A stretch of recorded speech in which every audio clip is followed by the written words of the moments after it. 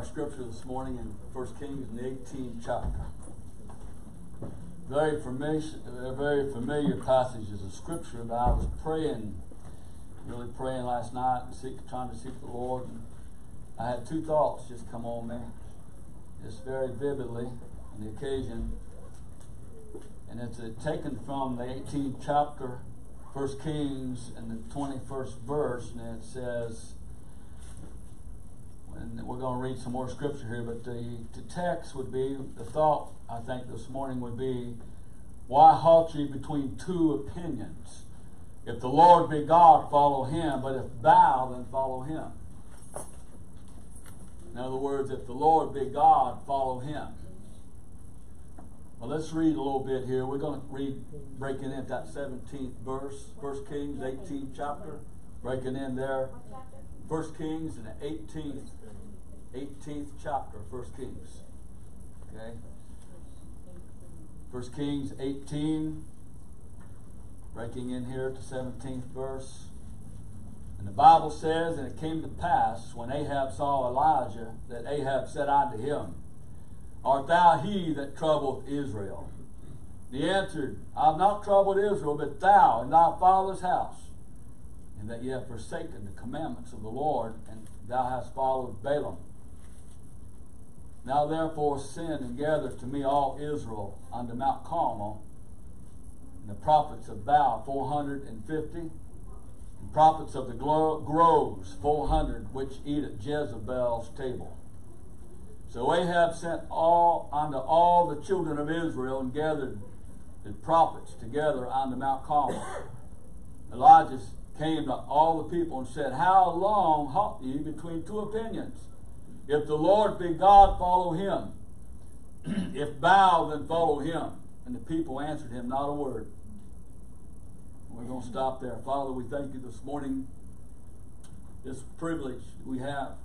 This morning we are congregated together before the throne this morning. And Lord, we pray that you'd give us what you'd have us this morning to receive in our hearts, hear with our ears, receive with our hearts. And Lord, if they be just one, that needs to rejuvenate that spirit within them, renew that Holy Spirit within them, that there be one, Father, that's on death row this morning that needs pardon.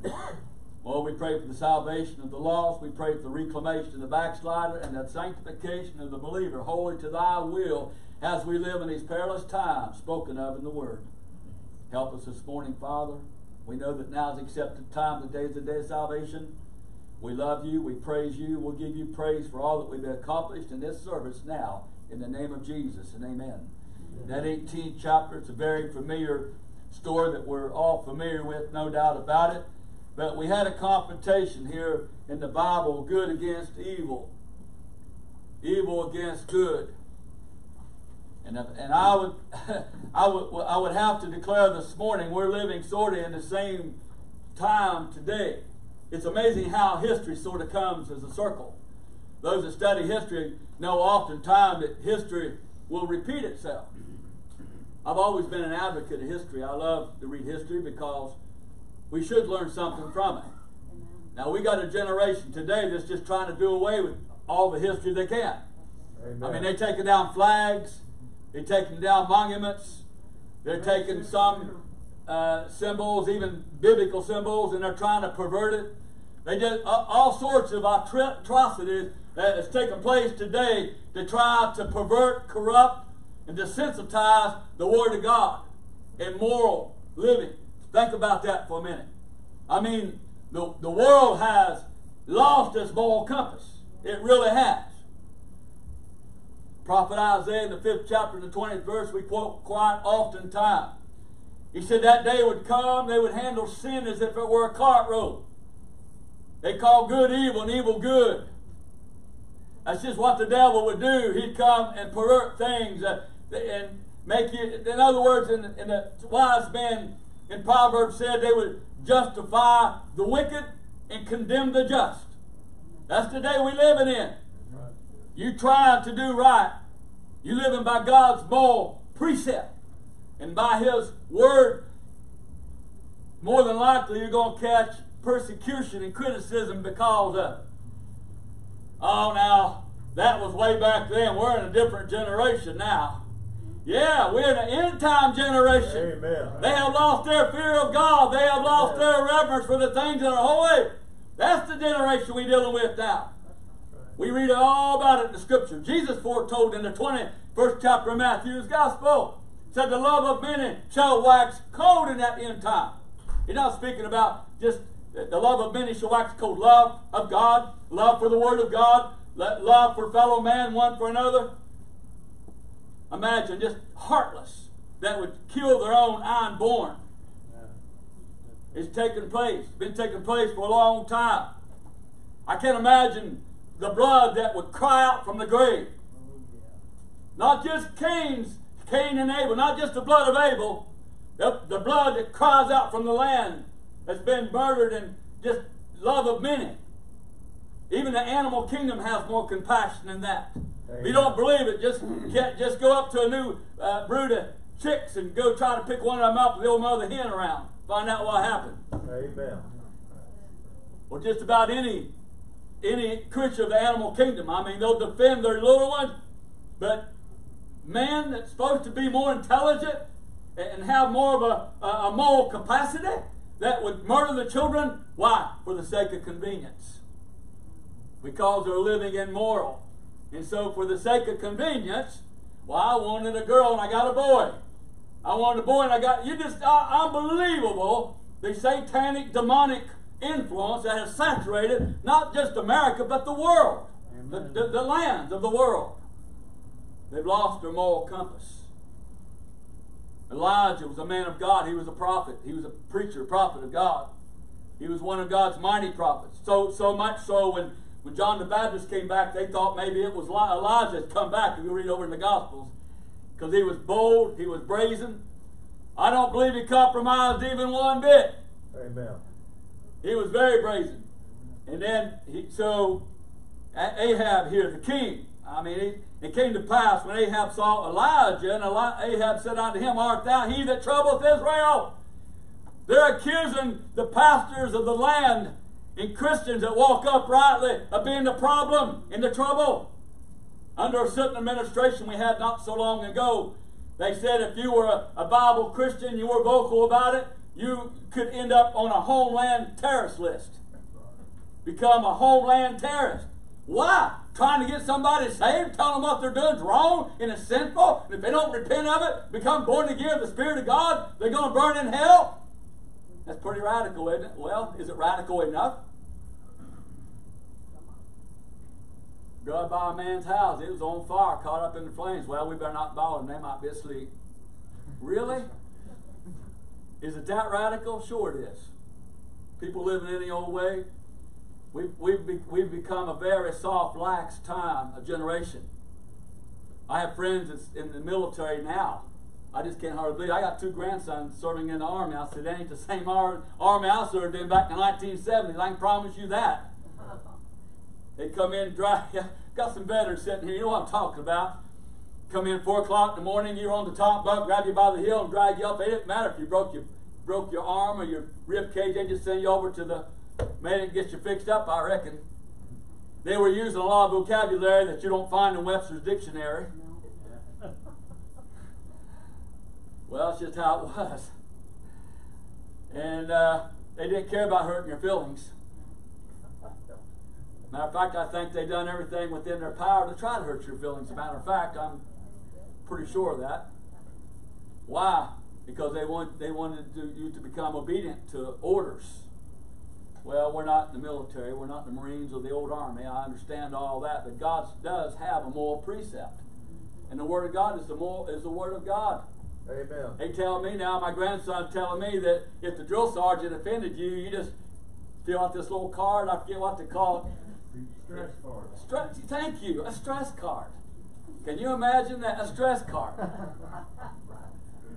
we didn't even have that in public school. I love to sign a stress card when she's washing my mouth out with a ball of ivory soap or pine tar. We didn't have the option of a stress card. Well, praise God. Somebody else been there beside me. I know good well you have. You just admit to it. Got her mouth washed out. They all had signature paddles. Some drilled holes in them. Some put notches along the side, you know. We talked about that out on the playground, you know. I said, well, you know, so so don't get whipped by him. He put notches on the end of his paddle. That thing really stinks. But that one over there had holes on there. I, th- I just see them all sitting around the coffee table trying to figure out what they're going to do next. we raised three of our grandchildren for three years. I can't help it. We're still old school. We was then too. And because we, they were our grandchildren, of course, you know, the children's Gestapo, I don't know what they really call them. We call them the Gestapo. But they come out to visit, make sure that we weren't abusing them. And well, I'd already made this beautiful paddle. Matter of fact, my daughter has it now. I give it to her. But beautiful paddle about that long and made it look real nice with polyurethane. I wrote proverbs on there, you know, spare the rod, spoil the child. I mean, you know, we cover ourselves really well. And I had it hanging up where it was visible. So they come out and sit around the table. Do you whip these children? I said, You better believe it. Amen. If they need it, if they merit it, they're going to get it. Well, fortunately, we got the right ones, I guess. They was all right with it, as long as we didn't hurt them too bad. Well, praise God for all that. A lawless generation. They had become lawless and lost their fear of God during this time. Imagine that a, a nation of Israel that had been eyewitness account to the miraculous things that God did in their deliverance from Egyptian bondage. Amen. All that God brought them through. It, it's hard for me to conceive sometimes how somebody could have lived the life of a drug addict or a drunkard or whatever else they were, bank robber or whatever, and they come and get deliverance at an altar of prayer, and God delivers them and takes all that want to out to do the things that was contrary to the will of God and puts a want to to come to church to receive the blessings of the Lord and to learn about the Lord. Because, see, the Lord does change all that. I was criticized here recently. Somebody, I quoted the scripture there in Hebrews 10 there, it talks about if we sin willfully, willfully, after we've received the truth, there remaineth no more sacrifice for sin. He said, now, he said, preacher, now you know that everybody just sins all the time, all the time. I, I asked a question. I said, do you go out and visit the cat house or do you go to the bar and get stone drunk? Are you smoking a, a marijuana joint right now? Well, no, of course not. This was the pastor I was talking to, by the way. He said, Of course I don't do those things. And I said, Then did not the Lord change your heart and your want tos? Amen. That's right. Well, praise God. Amen. It's, it's, if any man be in Christ, old things have passed away. Behold, all things become new. The old timers said they changed their hitching post. They're not going to the same places they had frequently been going to. Now they're going to church. Why? So they can hear the word of God. Romans in the 10th chapter says, How shall they hear? Except the Lord sent a preacher for them to hear. Amen. So they come to church to hear the preaching and the word. Why? Because they have a want to. I like what one preacher said one time. I think it's one of the best explanations I've ever heard. He said, You get a real good dose of salvation, born again, love Jesus, love the things of God. He said, he said, it'll not make you quit snoring in your sleep, but you will wake up in good humor. I kind of like that. Unfortunately, when the Lord cleans up the heart, it don't perfect our mind in judgment. Now, in the Old Testament, the book of Leviticus, we know that, that they even offered sacrifice for the sins of ignorance. That's cutting it pretty close right there. But it's not willful, premeditated, malicious, no fear of God sin. Do we all get that? In the Roman letter in the sixth chapter in the first verse, shall we continue in sin that grace may abound? God forbid. What's he say? God forbid. God forbid. Does that kind of go along with Hebrew letter and the tenth? If we willfully, he only died. He, he went to Calvary one time. Amen. Now we do have an advocate with the Father. That's one thing I love about the Baptists because we have an that because in other words, you got some churches out there. Well, if you backslide, if you do this or you do that, the devil's going to come and backslide you, and that's it. You just might as well throw the towel in and quit. No, that's not what we do. If we mess up, we're going to repent and take a spiritual whooping, and we're going to advance toward the kingdom. We're going to do a little better next time around. Why? Because we just learned a lesson, didn't we? Amen. Well, praise God. We just learned a lesson. We haven't made it to heaven yet, but we're on the journey. One old preacher said something like this. He said, The morning of life is gone, but we are journeying to that land. It's up to you to make the destination, by the way. Mm-hmm. Hopefully, you've looked at the road map and looked at your navigational tools, Amen. And you figured out the right route to where you need to end up at. Right. Well, praise God. Yes. But they, you know, there's some folks that, that will choose a little two-lane highway. Now, the Bible talks about the broad way and the narrow way. Now, I would, I would personally would rather be on a two-lane highway that's straight and narrow, without potholes and all that. But I'm fortunate, long the devil's around, there's going to be a few potholes and maybe an obstruction here and there, and we just have to navigate and get through it. Well, praise God. Is that what we got to do? We got to navigate through that mess, don't we? And if we if we mess up along the way and get off the wrong road, we made a wrong turn someplace, we're going to ask the Lord to forgive us according to 1 John 1 9. Huh? We have an advocate with the Father, the righteous. Praise the Lord. Let's go on here. I'm getting away from Elijah. Elijah had a confrontation here, not with um, not just with the king alone, but they came to a challenge. And they answered, "I have not troubled Israel, but thou and thy father's house." Sound like another prophet that I knew, named Nathan. Remember that he went before David. He told about this story. And he said, "David, thou art the man. You're the one. You're the one that's guilty." Well, I said we could preach on David this morning. I, but we go on here. In that you have forsaken the commandments of the Lord, and thou hast followed Balaam. Then you got people come up with this foolish nonsense and apparently don't study American history. Well, now America, uh, Islam had a lot to do with the foundation of America. Where, where do you find that at in the history of America? It was those Puritans that come over here seeking freedom so they could serve the true and the living God in freedom Amen. Amen. in, re- in liberty. They call it religious liberty back in those days. Amen. I'm, I'm very careful about using the word religious nowadays because that applies to a whole lot of things. There's a lot of folks doing a lot of things under religion, but it's not relations. That's the problem. That's right. There's a difference between religion and relation. Yep, yep. There's a lot of religion going on. Relation's what I'm interested in. Something that's help, heartfelt, something that we know. When the Lord speaks to us and we can feel and sense the presence of the Lord. Anything less than that, you're missing the mark. You might feel good with a New Year's resolution, uh, uh, resolution. You might feel good over this or that or the other thing. But listen, you're not going to really feel good until you get born again and you feel the presence of the Holy Spirit of God down in that heart of yours. Amen. Amen. Amen. Followed Balaam. Now therefore send and gather to me all Israel unto Mount Carmel and the prophets of Baal, 450. Baal worship was predominant during that time. It actually comes from the Greek word belos. He's also, uh, some actually refer to him as the Greek god Zeus. Now, if you've ever watched any TV movies on some of that nonsense, you, some people are familiar with what they call Zeus. Maybe I'm not saying it right. That's Zeus. Zeus. I believe that's right. It came from Balos, and it was predominant. We got religions today that are very predominant. We got Psalm 1 today. I believe it's described very, very discreetly over in the 17th chapter of the book of Revelation or the Apocalypse.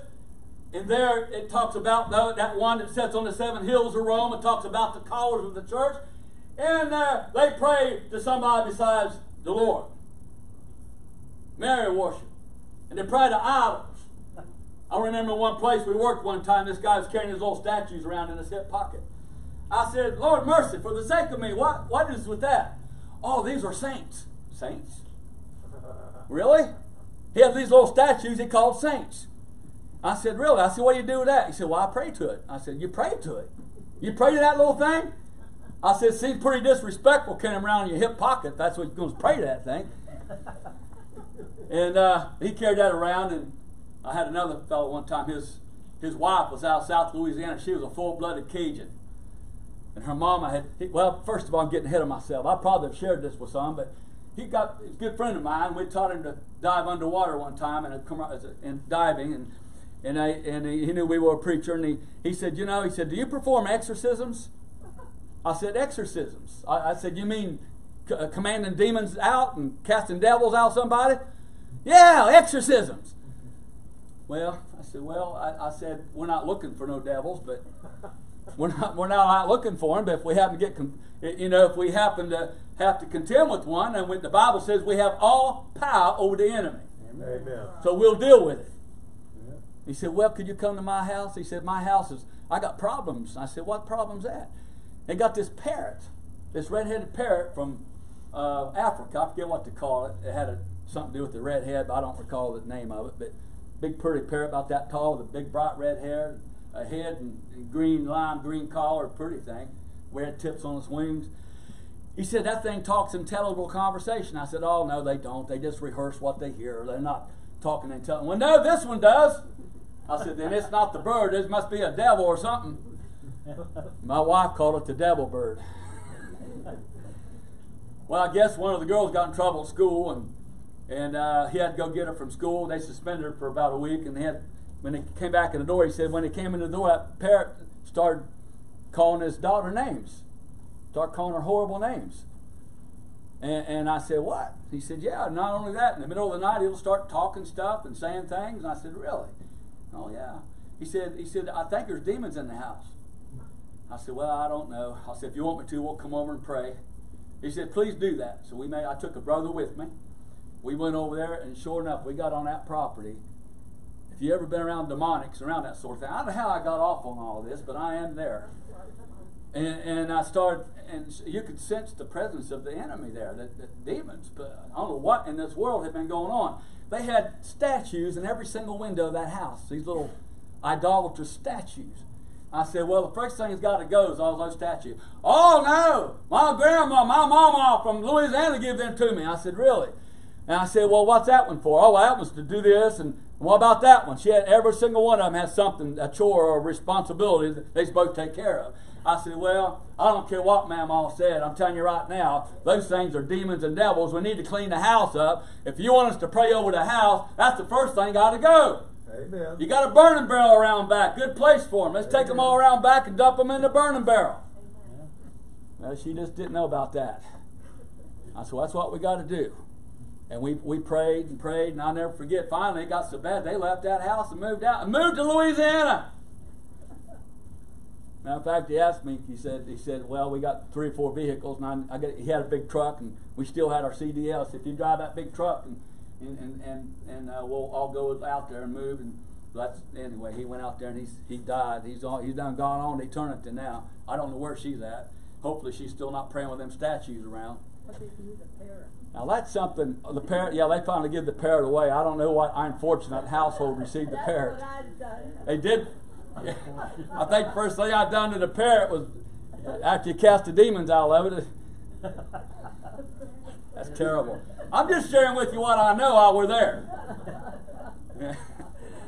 so we have, we do have a spiritual warfare. Now Elijah, there in that 18th chapter, there was 450 Baal worshippers. Yeah. And if you do any study on that Baal, I mean, this guy was uh, a Greek, like a, a Greek, Greek mythological, uh, mythological. I'll get it out of my mouth here in a minute. You got to understand. In the morning, I get up and I talk to Haiti and French and Creole, and then I have to change gears. And sometimes it's not easy. Sometimes I get stuck between somewhere between high and low gear or something like that. Those that are here all the time know every once in a while there'll be a word come out of my mouth that's not English. It's not purpose. It's not intentional. And well, anyhow, praise the Lord. He, he's, he's there, and he's contending with these 450 prophets of Baal. This guy's got wings. I mean, he's just a, something that some devil devil possessed somebody conjured up in their head, I guess. And there, for, can you imagine that? That many people. It was the predominant religion. There was this Baal worship. And then they had the other 400 prophets of the groves. I mean, there was all kinds of everything. They had temple prostitutes, male and female. They had idols. Must have been like them fellas had them little statues carrying around in their pockets. That they had all these little statues and praying to these statues, like as it were. I have to wonder. Now I know they didn't have the Bible back in that time, but I, I would have to imagine if they did, they'd probably had a whole lot of Bibles besides the King James. Well, praise God. Are we living in such a different time? I was just reading. I was just reading recently I know some groups that have completely adopted the NIV. I, 1 John 5 7. Now think about this. The Bible says in 1 John chapter 5 and verse 7, there are three that bear that bear record in heaven. The Father, the Word, and the Holy Ghost. And these three are one. The NIV don't even have it, period. It's not even there. Does that tell you something? It's not even there. now I imagine if we lived back in that day and you've had enough of Baal worship, so we're going to go by and visit these other, see what other these other churches, wonder what they got to offer. Well, somebody's out front. Well, we got the NIV. Well, no way. Over here we got the new revised version. Now wait a minute. Then over here we have good news for modern man. Well, that's another one. Then the newest one out. Hey, we got a brand new one over here. It's fresh off the press. It's called the Queen James. Queen James. There really is a Queen James. Google it and look it up. It's got a rainbow right across the front cover. The Queen. I wonder who that, what outfit that one's for.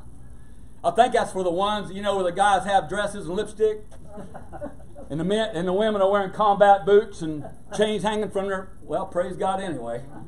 Yeah. I personally have eyewitnessed some of this myself. I know I've shared this in the past. I'm not going to go into any depth detail, but I was invited one time as chaplain in dive ops, and one of the captains on board ship up in Cape Cod, Massachusetts, place called Provincetown. Nobody, nobody warned us about that place. I have a clue. I thought it was just a normal place like any other American city, but it's not. It's not. And uh, so we've seen a lot of things. I thought it, we seen a lot in the army. Oh no, that was that was nothing compared to this stuff. And, I mean, it just it was it was really bad. And they had signs up. They had little substations downtown. Had signs up said, "We are gay police and proud of it. We're gay firemen." It just went on and on. It had all that up there going on. I remember telling Barry Clifford lived there, and we was up there actually performing a wedding, and then serving on board ship. Well, I promise you, I stayed on the boat all the time. I didn't need to go on land up until I left and flew back to God's country and got back south here where they have a little bit of common sense. Yeah. Well, praise God.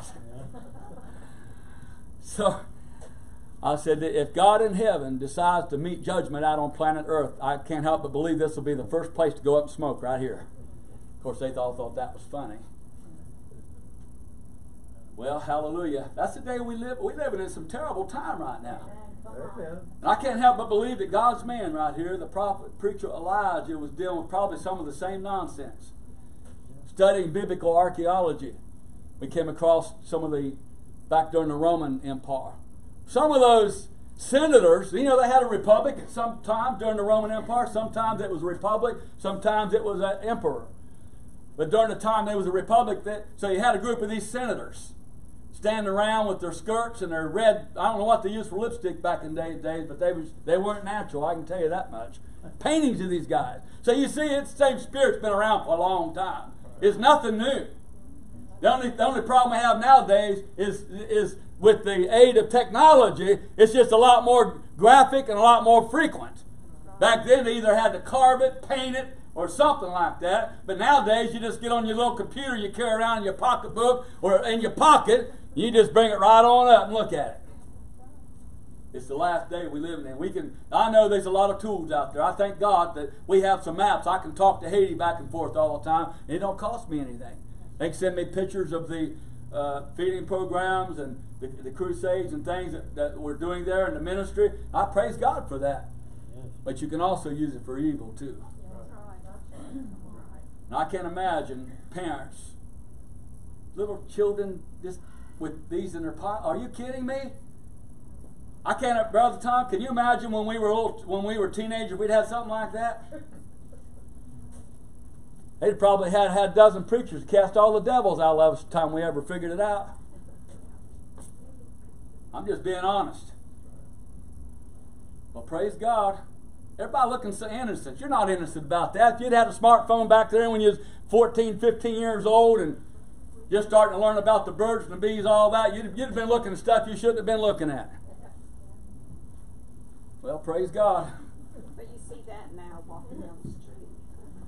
So, Well, you just imagine Elijah dealing with all this stuff. Just you know, it's one thing to worship the moon or the sun and all that, but a lot of those would worship things of a sensual nature. Why? What's like James said? Don't let any man say when he is tempted, he's tempted of God. He's enticed of his own lust. And lust, when it's conceived, the Bible says, bringing forth sin. Amen. Sin, when it's finished, bringing forth death. Amen. But those of us that are blood washed, born again of the Spirit of God, the Lord gives us all power over the enemy. Amen. A L L, power over the enemy. We can overcome all these things. And when the devil comes, we don't entertain what the devil would whisper in our ears. Why? Because we know better. We've learned we're, we're ambassadors for Christ. We're soldiers of the cross, and we know better. Now listen to this about those, those false prophets. It says here in the later part of that 19th verse, Thou 450, the prophets of the groves 400, which eat at Jezebel's table. These false prophets, these false preachers, these no hellites, they're eating at Jezebel's table. What does that tell us? It's the same way today. That- that People out there that are teaching damnable heresies and false doctrine and all that, they're eating at Jezebel's table. World don't got no problem with them. I bet used to we heard about this a lot, and I haven't heard it a long time. But they talk about the ecumenical movement. The ecumenical movement, in other words, all the churches all come together as one. Many ways to heaven, they say. That's, where's chapter and the verse for that one? No. I don't see it nowhere. I see where Jesus is the only way. Amen. He's the only way. There is no other way. John 14 and 6. There is no other way. He's the way, the truth, and the life. No man cometh unto the Father but by me. We are Jesus only, aren't we? Amen. There is no other way. It's through Him. Amen. You'd have it, but these other ones, see, they're eating at Jezebel's table. They'll not have a problem. Why? Because they're no threat. What's going to happen if they ever start enforcing laws and come down and say, yeah, well, you're going to have to quit preaching against this and that and the other thing because it's offensive. And I read in the book where Jesus was a very rock of offense. So if we're preaching Jesus and we're preaching the gospel message, you're going to offend somebody. Amen. Somebody ain't going to like it. You're going to offend them. It might offend them enough to get them stirred up enough to might, they might want to get saved right with the Lord. Amen. Well, he came to a confrontation with them, didn't he? Got all the people together. In that 21st verse, and he said, and Elijah came on all, all the people, came unto all the people and said, How long halt ye between two opinions? I can't help but believe there are, there are some that, that they know the right way, and they've also been around the wrong way, and they're just, they're just undecided. But uh, now wait a minute. Do I want to go over there where they're preaching the Bible, and sometimes the preacher gets under my hide a little bit, and sometimes I leave there a little bit upset. Of course, they wouldn't have left upset. They could have prayed about it, but they left upset. You see, and and uh, but, but if I could go over here where they got black flashing strobe lights and flashing, and you know, and they got go-go dancers up there. Well, wait a minute. They don't call them that. They call them praise team, isn't it? Now, I'm just being honest. I, I, I was invited to a church a, for a missionary service. I was supposed to go in there and tell them about Haiti and try to get them excited and encouraged, you know, uh, about the mission work and all that. And so I, I had no clue what I was getting into. When I went in there, there was a bunch of girls. They was up front, and they was very Catholic dressed. They didn't have much on at all. It seemed like didn't look to me like any different than the Dallas cheerleaders or somebody. Mm-hmm. But they were doing it for Jesus. They said. Then they had all this loud psychedelic music. I, I think somebody was trying to pass legislation that was referred to as noise pollution. Yeah. Well, praise God. I had somebody come to me. They was playing. That's when rap first came out. Well, this is Christian rap. Really? Sounds to me like the old vulgar stuff to me. I'm pretty sure it's probably of the same spirit. Now, is that being radical or what? Is there not a line of demarcation between God's people and that of the world? Yes, there is. We're not eating at Jezebel's table. We need to feast from the table of the Lord. Amen. James said, How are you going to sit at the table with devils and the table with the Lord at the same time? You can't do it. And the prophet preacher here said, How, how halt you between two opinions? You're going to go with the Lord, you're going to go with Baal? You're going to sit at Jezebel's table or you're going to sit at the Lord's table? That's a decision we all have to make, isn't it? Well, praise God. How long halt you between two opinions? If the Lord be God, now I don't know about you, but anybody that's been serving the Lord for any measure of time at all, I know the Lord's had to do some good things for you, some wonderful things for you. I could stand I could stand here this morning and I could start reminiscing on some of the things the Lord has done, and I'm sure half of it I don't even probably even know about. Amen. Probably don't probably not even aware of it. Maybe when we get to heaven, the Lord say, "Well, look what." Maybe I can look back and say, "Man, that was a close call right there. I didn't know that was going on." I didn't know those fellas waiting around that corner with machetes going to hack. I didn't know about all that. Well, I'm not saying that happened. I'm just making a point. There might be a whole lot of things that we weren't aware of. That's right. Now I knew about one thing. We was on a plane coming back from Jamaica. We'd been in Jamaica preaching, and we was coming back from Jamaica. We got in a pretty bad storm, and that plane was just kind of. It just didn't, you know, it just kind of made you a little concerned. You might want to pray a little bit. I had some team. I had a team with me. They sitting in the back, and I sitting up there. You know, they don't let you sit just where you want to. They assign you a seat. You know, so I'm up there, and I'm minding my own business. I'm sitting there, and now, I don't know if I had my old MP3 player with the Bible or reading. I don't recall now. That's been several years back. But one of my team members thought it was kind of funny. He walked up there and said, "Oh, we heard you was a preacher." I said, "Well, only when the Lord helped me preach." They said, "Well," he said, "What do you think about this plane? You, we might go down." I said, "Boy, they she got some death stares." People looking at him. He thought it was hilarious. He said, "Well, you got anything to say to all these people here?" I said, "You know, just in case we don't make it." What it was, we was up there flying around in circles because we was trying to land. I think it was in Atlanta. I think is what we had to check in at, and anyhow we had to fly around for a little while up there, and, and that turbulence and all that, and and uh, of course those guys knew what they were doing, I reckon. But anyway, they thought it was kind of funny. And I, I, they could have tossed him off the plane. They might have done that. I don't know, but he got some pretty bad death. And I said, "Well, we'll pray about it. If somebody's not right with the Lord, now's a good time to get right." Yeah. Oh, praise God. We had a guy tell with us one time in Haiti, and he accused us of planning all this, but we really, we are totally innocent. Uh, I had a young man from Baptist Church up in Dothan, Alabama, and uh, another friend of mine told him what a wonderful, great cruise it was sailing down on that boat with us.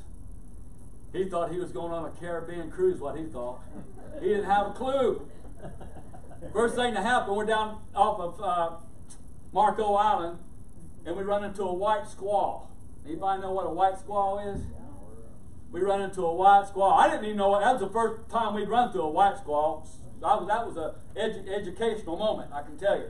All I know is I seen a line of, of dark clouds, just uh, looked like a wall that was coming toward us. It was crossing that southern peninsula of Florida. I said, I don't know what this is, but it don't look good. We're gonna get ready for this one. I took all my sails down. I fired the engine up on the sailboat, and I had a course headed for the uh, mile marker one going into Marco Island. I figured it might be a good place to maybe get off the ocean if we could, and uh, at least open sea. So we're headed in, and my buddy, y'all, he's up there laying in the sun, getting the suntan, I guess. We just thought it was fun. Uh, the only thing he liked was a pina colada. he was having a good time. And uh, so I'm meanwhile I'm running around the boat and I'm putting extra lines on stuff and tying stuff down. I got my sails down and we're motoring. I got the autopilot on, so it's steering the boat. And finally that thing was getting closer, and I said, uh, I said, Dwayne, you might want to come on inside, inside the cockpit. Oh, okay. About that time that thing hit, ooh, it was. I mean, it was. They called a white squall. We only had about two foot seas, probably. It was just a beautiful day of sailing up until that thing came along and it was blowing the it was the wind was so strong it was blowing the crest off the waves so it was like a wall of water just coming right at us you couldn't see nothing visibility zero i got on my vhf the, the coast guard seahawks were all flying out and they were going out after fishermen that got stuck out there i, I don't know what happened to all of them but hopefully they made it through all right i'll never forget that Dwayne's there thinking, uh, he said, Well, Captain, he said, I guess you've been through this a few times. I didn't even answer. I'm like those people was in our that here when Elisha told him how halt you between two opinions. The Bible said they didn't even say a word. I didn't either. I sat there, I didn't say a word. I had I had cranked that engine up almost full power RPM. I was going backwards. That wind was blowing us backwards. Finally, after about 15 minutes of it, I got a hold of somebody on shore. They said, Captain, you got about another 15 minutes of it, and it'll be, it'll be passed. And sure enough, that was about right. About another 15. We was about 20. So basically, a white squall is about a 20 to 30 minute hurricane condition, is what it is. 60, 70 mile an hour winds, right at us. And I, at first I thought about anchoring. We was about probably 30 foot seas at the time. Uh, but I thought, no, we're just going to point the bow right into it and we're going to motor on in. But we were literally, I was looking on my chart plotter, we were actually going backwards instead of forward, almost full throttle. Wow. So we got into Marco Island, took a break for a little bit, for about three days, and then we continued our journey. Well, then we headed out of Boot Key Harbor in the Florida Keys. Now we're headed for Haiti. Seven water spouts we counted heading out of that channel. Seven water spouts. I've never seen seven water spouts at one time. I was actually talking to Brother Wayne Allen on the phone when one of them was coming right at us. I said, Brother Wayne, I got to go. I got to maneuver the boat. I'll never forget that. Water spouts coming right at us. And uh, it didn't, but it, it was headed our way. Well, should we turn around and go back? And I said, I don't think so. It to me like they're headed into the harbor. I think we just need to keep going the way we're going. Well, then we got down through the, uh, we was in the Old Bahama Channel off the north coast of Cuba, and we got some really foul weather there. And I told Brother Dwayne, I'd been at the helm for a long time, and I was just, I was just really exhausted. So finally, about three o'clock in the morning, two o'clock, something like that, I said, "Look, all you got to do is keep an eye on everything. We're on autopilot. If the wind changes a little bit, I'll probably hear it. I'll probably hear the sail off a little bit, and I'll know to rearrange my, reset my sails. You know." I said, "But otherwise." If you see any of these big cargo ships, them lights, if you see a red and green light, wake me up immediately. Anybody that knows about navigation knows if you see a red and a green light, that means he's coming straight at you. Depend, okay, so anyway, so about three or four o'clock in the morning, man, I'm I'm just really in a deep sleep. He's shaking me, shaking me. I, I think I think I think we got a problem. I look up and all I seen was red and green lights coming right at us. And I said, "Yeah, we, we definitely got a problem here." I'm doing my best to get the engine started, and I couldn't get it started quick enough. Full throttle, hard starboard. he didn't miss us by much. He'd, he'd arrived in port with probably a mast and what was left of that sailboat hanging on the side of his cargo ship. Those guys from the island, some of them don't speak English, number one. Number two, they get they drink their Barbancourt rum and play dominoes. They ain't nobody in the car. They didn't, don't even see what's out there. It's on cruise control, man. They just 12 knots, man, right down through there. well, that was a close call. No. I said, Dwayne, you're supposed to be watching. The chart, the, the autopilot don't have eyes. It don't have ears. It just goes where you tell it to go. I don't know why I'm sharing all this, but be a reason for it. I'm just sharing with you.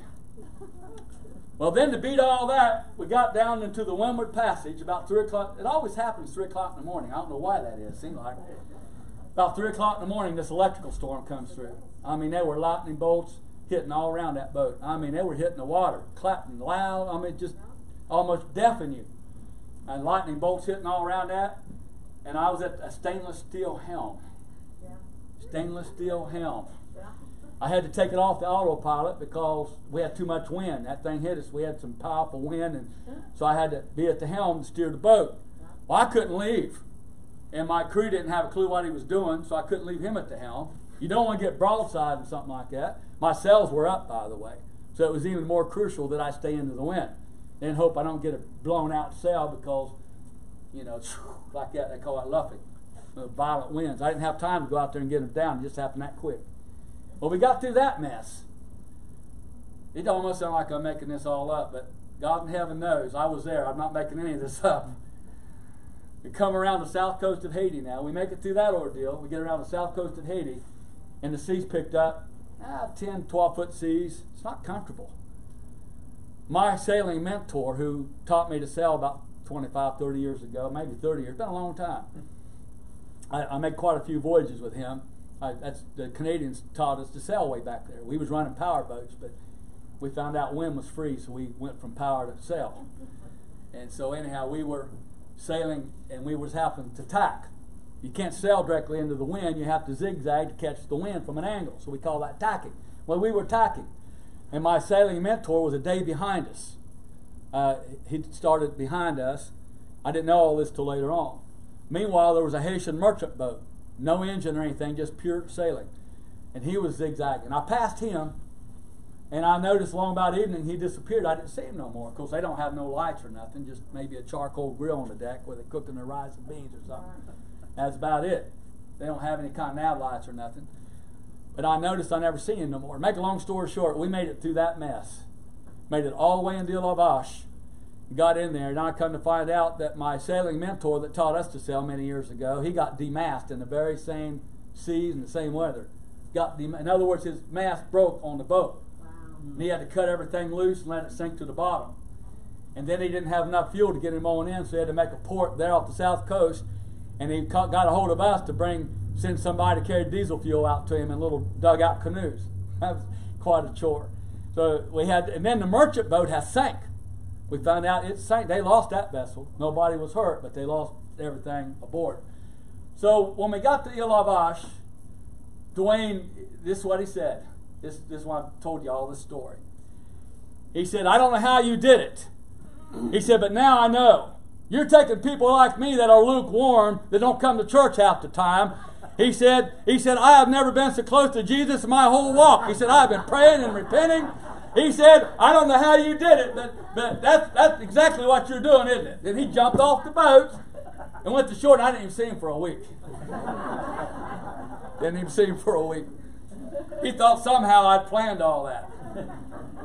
I promise you, one or two little storms might have been all right, but all that, no. In all the years we've been sailing back and forth in the mountains, we have never, ever, ever had all that happen in one single trip. It did that one.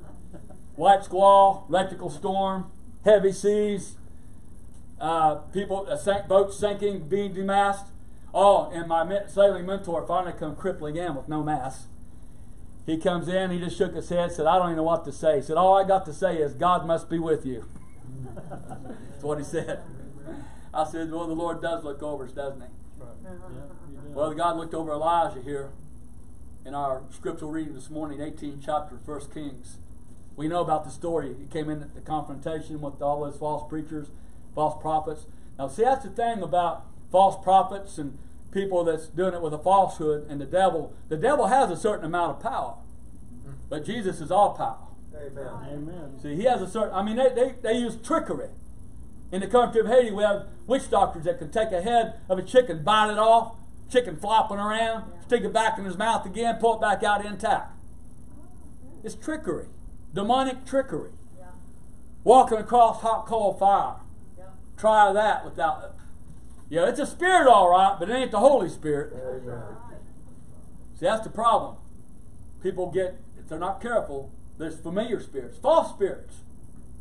See, and, well, we're in a spiritual warfare, aren't we? Yes, are. But we have all power over the enemy. And I've said this and I'll say it again. I'm not looking for demons and I'm not looking for devil. You don't got to look for him, I promise you. He knows where you're at. He'll come looking for you. But on the other hand, we live in right for the Lord. We do have all power over the enemy. Lord. Greater is he that is in you than he that is in the world. Amen. Elijah faced 850 of these Yehus. Imagine that. He even mocked him at one point, we read there in 18th chapter. Mm-hmm. They got so carried away in, in that false spirit, they was cutting themselves all up. Well, wait, maybe your God's asleep. Maybe he's taking a nap over there someplace. I know I'm paraphrasing a little bit. Yeah. And then when he went to prove the Lord, not only did the Lord come and take the, I mean, they doused it with water, dug a trench around it. Imagine that, and the Lord consumed it all up. When it comes to a showdown, he said, Choose you this day. He's Almighty. Choose this day. Yes, he did. You're going to walk after some quackery, some half baked, lukewarm nonsense, or you're going to be where you can feel the presence of God and pray and know Him Amen. In, in, in His Word. You see? Right. There's just a lot out there to try to sidetrack us. We're living, we got to be right in the end time prophetically. I don't know about you, but I want to be like those wise virgins. I don't want to be like the foolish ones. I want my lamp full of oil. If that preacher trims my wick once or twice, that's fine. Keep right on. I want that light to shine. A lot of folks got oil in their lamp, but their wicks got dirty. I know about that because when my wife and I, my family lived in the mountains of Haiti, we had no electricity. We burnt coal kerosene lamps. I can tell you many nights sitting there trying to read my Bible or what have you. If that wick gets a little bit dirty, it starts putting off black smoke. Mm-hmm. Su- it gets sooty. Then you, you look up in the rafters and up around that, and you're going to see where it's making everything all sut. That's about how it is with some people in the church. They get they don't they don't trim their wicks and they come in and they just they just leave an after effect. Well, praise God. Yeah. Well, I felt I thought the Lord give us that message this morning. I might have hit there, and here, there, and the other place, but Elijah said, "Why halt you between two opinions? if the Lord be God." Most of us know the Lord is God. We know that. Amen. Most of us have been reared up in a in a Bible school or in a, in a um, Bible school, Sunday school. We know. We've learned John 3.16 almost from the cradle. If the Lord be God. These folks knew too. They knew the power of God. They've seen God work miracles. But yet they allowed all this idolatry, false prophets, and all this to come in on them till just about consumed them and got to the place they had to have a showdown. And Elijah talked to him why halt you between two opinions? If the Lord be God, follow him. If thou, then follow him. I felt that was this morning. If the Lord be God, follow him. Amen. And follow him. Follow him. If thou be God, then go follow him. If you think all your hope is in marijuana, cigarettes, and alcohol, and whatever other nonsense the devil's got out there, then, then follow Baal. But if the Lord be God, follow him. We know what the end of both roads, don't we? If the Lord be God and we follow him, they might even come and destroy this body, but we're going to go be with Jesus and the saints. And but if you go by the way the world, is going to happen. It'll be the second death.